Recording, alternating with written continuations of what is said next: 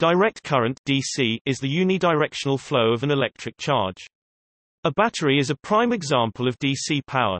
Direct current may flow through a conductor such as a wire, but can also flow through semiconductors, insulators, or even through a vacuum as in electron or ion beams.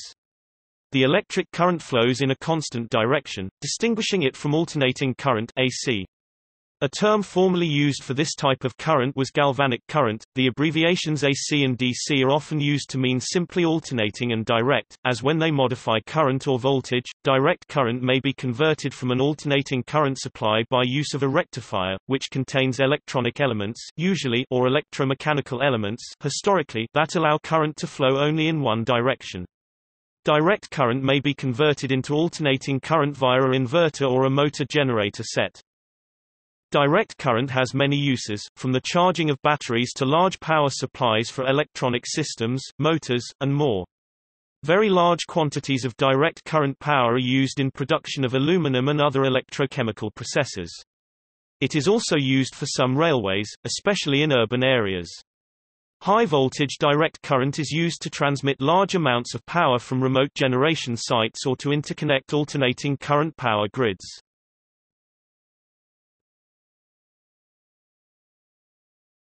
Topic: History.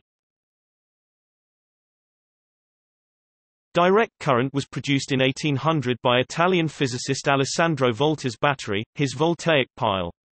The nature of how current flowed was not yet understood. French physicist André-Marie Ampère conjectured that current traveled in one direction from positive to negative. When French instrument maker Hippolyte Pixii built the first dynamo electric generator in 1832, he found that as the magnet used passed the loops of wire each half turn, it caused the flow of electricity to reverse, generating an alternating current.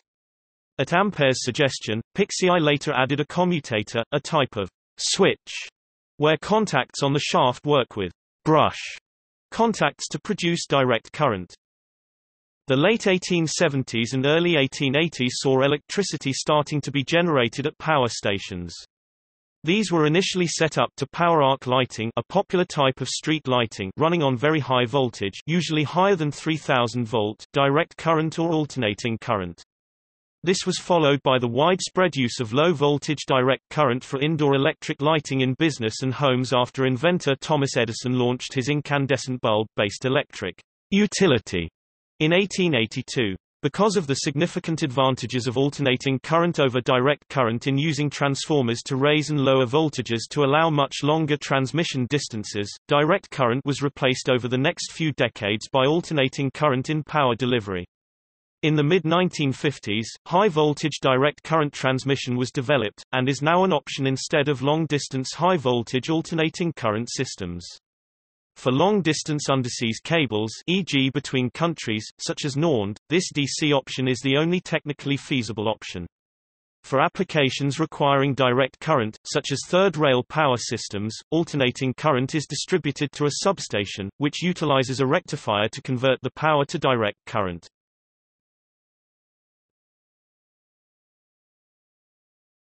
Topic. Various definitions The term DC is used to refer to power systems that use only one polarity of voltage or current, and to refer to the constant, zero frequency, or slowly varying local mean value of a voltage or current. For example, the voltage across a DC voltage source is constant as is the current through a DC current source. The DC solution of an electric circuit is the solution where all voltages and currents are constant.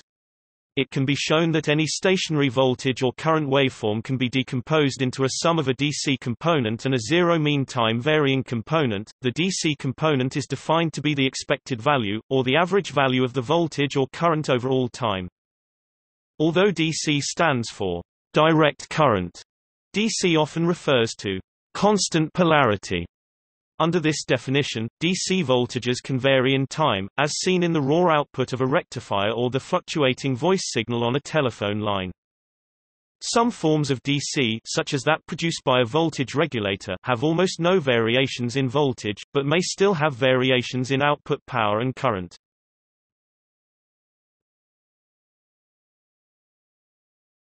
Topic: Circuits A direct current circuit is an electrical circuit that consists of any combination of constant voltage sources, constant current sources, and resistors. In this case, the circuit voltages and currents are independent of time. A particular circuit voltage or current does not depend on the past value of any circuit voltage or current. This implies that the system of equations that represent a DC circuit do not involve integrals or derivatives with respect to time. If a capacitor or inductor is added to a DC circuit, the resulting circuit is not, strictly speaking, a DC circuit. However, most such circuits have a DC solution. This solution gives the circuit voltages and currents when the circuit is in DC steady state. Such a circuit is represented by a system of differential equations. The solution to these equations usually contain a time-varying or transient part as well as constant or steady-state part. It is this steady-state part that is the DC solution. There are some circuits that do not have a DC solution. Two simple examples are a constant current source connected to a capacitor and a constant voltage source connected to an inductor. In electronics, it is common to refer to a circuit that is powered by a DC voltage source such as a battery or the output of a DC power supply as a DC circuit even though what is meant is that the circuit is DC powered.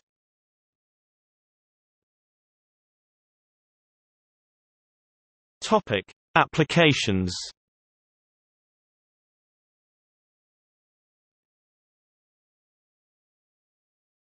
Topic: Domestic and commercial buildings.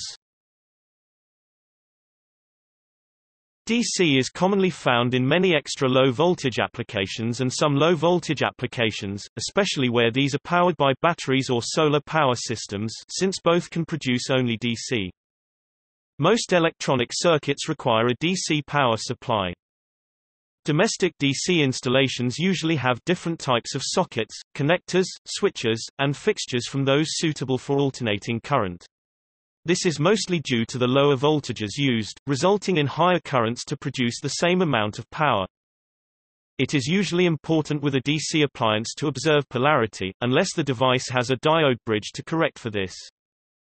Emerge Alliance is the open industry association developing standards of DC power distribution in hybrid houses and commercial buildings.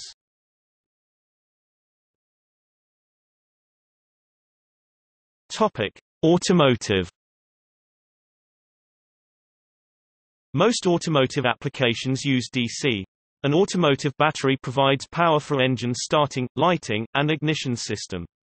The alternator is an AC device which uses a rectifier to produce DC for battery charging. Most highway passenger vehicles use nominally 12-volt systems. Many heavy trucks, farm equipment, or earth-moving equipment with diesel engines use 24-volt systems. In some older vehicles, 6 volts was used, such as in the original classic Volkswagen Beetle.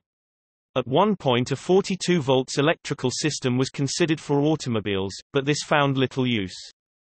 To save weight and wire, often the metal frame of the vehicle is connected to one pole of the battery and used as the return conductor in a circuit.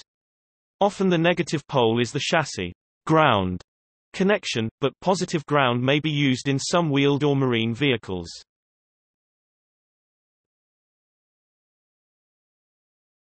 Topic: Telecommunication Telephone exchange communication equipment uses standard minus 48 volts DC power supply.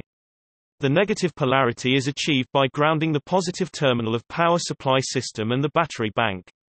This is done to prevent electrolysis depositions. Telephone installations have a battery system to ensure power is maintained for subscriber lines during power interruptions.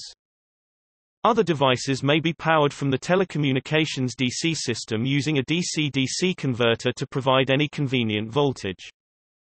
Many telephones connect to a twisted pair of wires, and use a bias T to internally separate the AC component of the voltage between the two wires the audio signal from the DC component of the voltage between the two wires used to power the phone.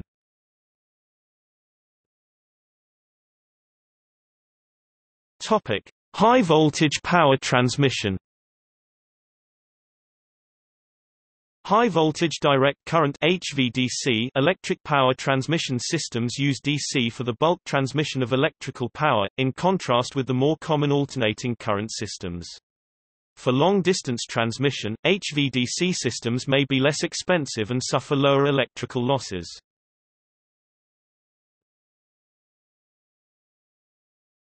Topic: Other Applications using fuel cells mixing hydrogen and oxygen together with a catalyst to produce electricity and water as byproducts also produce only DC. Light aircraft electrical systems are typically 12 volts or 24 volts DC similar to automobiles.